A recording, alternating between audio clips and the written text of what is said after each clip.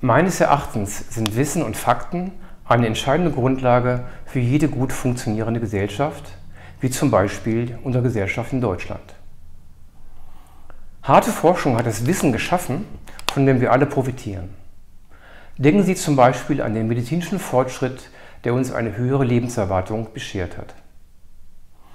Wir alle müssen in unserem Leben persönliche Entscheidungen treffen oder auch Entscheidungen, die der Arbeit angehen. Politiker müssen Weichen stellen, was die globale Entwicklung unserer Gesellschaft angeht. Solche Entscheidungsprozesse sind selten wirklich eindeutig, aber ich finde es extrem wichtig, dass sie auf einer soliden Wissens- und Faktenbasis basieren. Mal ein Beispiel für so etwas. Ein berühmter Mann hat mal gesagt, dass 99 Prozent aller Corona-Infektionen total harmlos verlaufen. Schauen wir uns mal die USA an.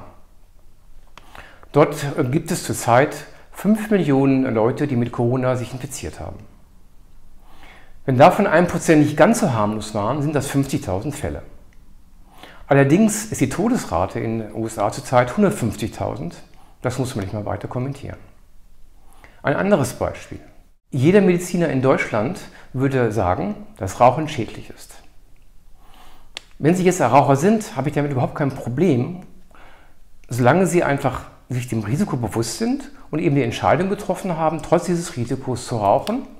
Nicht alles, was man im Leben macht und was schön ist, muss auch risikoarm sein. Ich wäre aber extrem irritiert, wenn Sie mir erzählen würden, dass Rauchen der Gesundheit nützlich ist. Was ist eigentlich mein Plädoyer? Wenn Sie noch mal vor einer großen Entscheidung stehen oder eine Meinung bilden wollen. Schauen Sie sich zunächst erstmal die Faktenlage unvoreingenommen an. Fragen Sie zum Beispiel einen Wissenschaftler. Und wenn Sie das getan haben, dann treffen Sie Ihre Entscheidung oder bilden sich Ihre Meinung, Ihrem Bauchgefühl oder dem Herzen folgend.